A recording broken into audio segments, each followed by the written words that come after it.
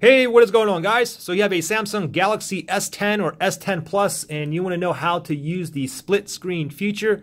The split screen feature is basically if you want to multitask. If you want to use one part of the screen to watch a YouTube video and the other part of the screen you want to do shopping or check your emails or whatever. Anyways, look on the bottom left hand side, the three vertical lines here go ahead and tap on that. And these are all the apps I currently have open, okay? So, so, you do have to have it open. So you can see I have my email app open, my YouTube app, and you see on the top here the icon, okay? So here's a uh, Amazon website here, and I see that browser on there. So basically what I do is like I can tap these, okay? See that icon there? I can go to my YouTube icon, I can tap right there. So let me go ahead and start off with the uh, Amazon site here. So I'll go ahead and tap on that icon, and then right here you'll see open in split screen view. So I'll tap on that. Now this Amazon is going to be on the top part of my phone. Now I got to do is pick something else that I want to watch or read or whatnot. I'll go ahead and pick this YouTube video. So I go ahead and tap on that.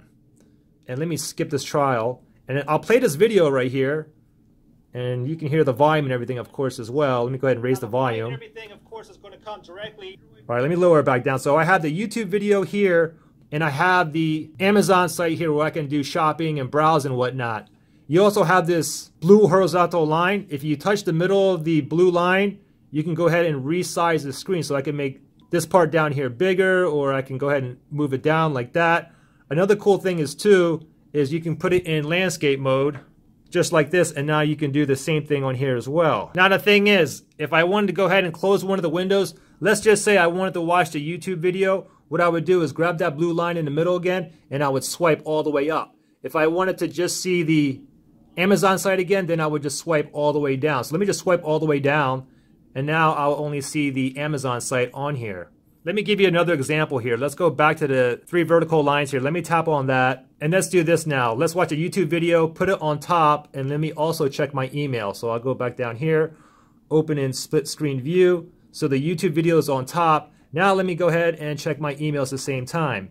So now I can go ahead and check my emails all while watching a YouTube video. So I can check my emails here. I can go ahead and still change to like a different video if I wish. I can go ahead and scroll and find like another video and whatnot. And like I said, you can also put it in landscape mode too. And now let me go ahead and just continue watching this video here. I would just again grab the blue line and I would swipe down. If I wanted to just look at my email in full screen, then I would swipe up. So I'll swipe down to see the YouTube video in full screen. And there you guys go. So that's pretty much it. Guys, thanks for watching. And I will see you in the next one.